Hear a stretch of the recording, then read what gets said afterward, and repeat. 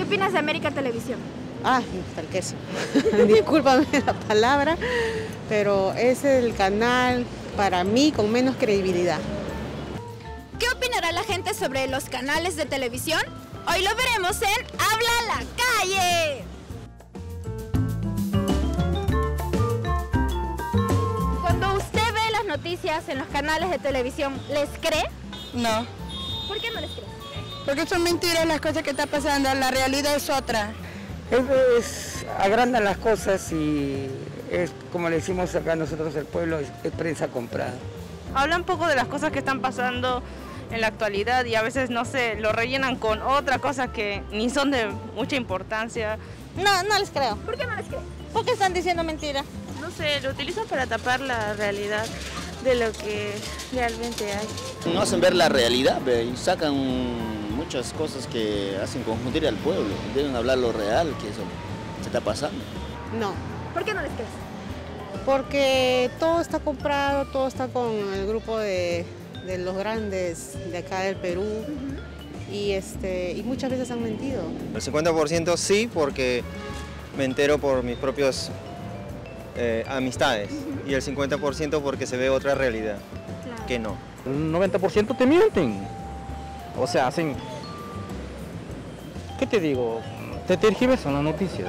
Porque a veces este, cambian todo para poder este, alertar a la gente o mentir, pues, ¿no? Causar este, miedo. No les creo nada, absolutamente nada. Están comprados. Ay, no les creo nada a esos canales. ¿Por qué? No, dicen mentira, todos están confabulados entre ellos. Me parece más que se abocan más en, la- en el espectáculo que otra cosa. han perdido su credibilidad a lo largo de este tiempo, porque nos han mostrado historias que son muy distintas a la realidad, porque vemos una cosa en la televisión y otra, digamos, en las redes sociales, que es otro medio de comunicación por donde los jóvenes más interactúan. Por eso es que ya no creo mucho en lo que veo en la televisión. A los canales de la televisión sí los creo, ya, porque si, si ellos no fueran, ¿de dónde estaríamos informados? América Televisión y sus periodistas reafirmamos nuestro compromiso con la verdad. Totalmente todo falso, ¿no? Y la última vez que salieron todos ellos, pucha, fue un circo más bien, más que creíble, ¿no? Es una presa corta, creo. Melera, como lo dicen. vienen a decir real- en realidad algo, a mostrar, digamos, de que merecen respeto y todo, cuando ellos no lo han hecho, cuando, digamos, siempre este, han tildado, han puesto banderolas marcando, eh, si alguien está en contra, de frente ya te marcan y te dicen terrorista, rojete, y es una palabra muy fuerte, porque en realidad si tú verdaderamente recuerdas quiénes lo fueron antes, prácticamente fueron personas que eh, cometieron atentados, ¿no?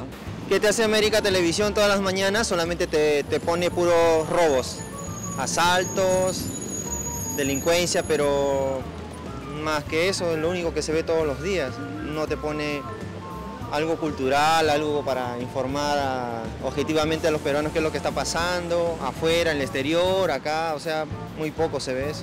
Se sabe de- rotundamente que están desesperados por querer inventar y querer hacer creer a las personas que lo que dicen es cierto. Ellos están asustados porque van a perder el trabajo en cualquier momento. Ah, todo armado.